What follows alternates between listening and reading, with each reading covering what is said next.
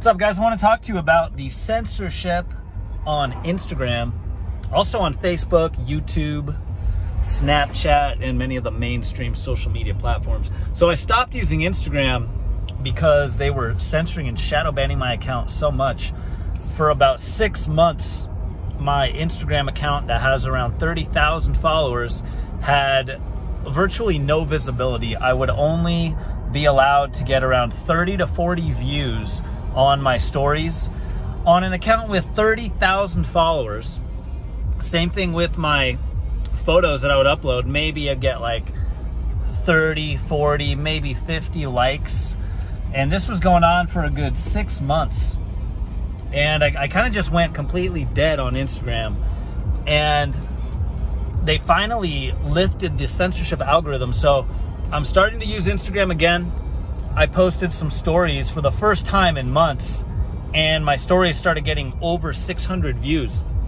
Now, the reason I was censored on Instagram is because I was talking about things like the 17th letter of the alphabet, which I, and I'm not going to actually say the things that I was talking about on here because their censorship algorithm will identify me and, and shadow ban me again. But the 17th letter of the alphabet, everyone knows what it is.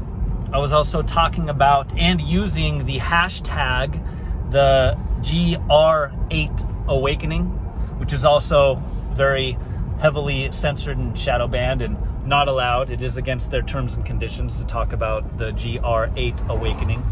Also, the hashtag save the C H I L D R E N. Everyone knows what's going on with that right now. That's also not allowed on Instagram. And I was talking about all these things, and that's why they censored my account.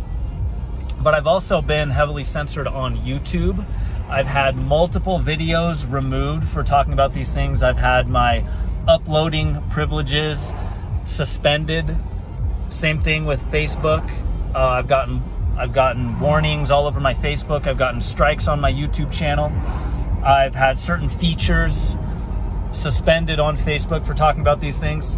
Even Snapchat, I've gotten warnings on Snapchat where um, I would, right after mentioning things uh, like that, or even talking about COVID,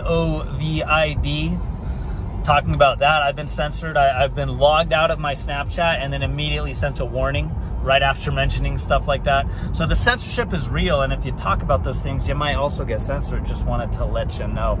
I've also had fact checkers, fact checkers put all over my Instagram stories, on my Instagram photos.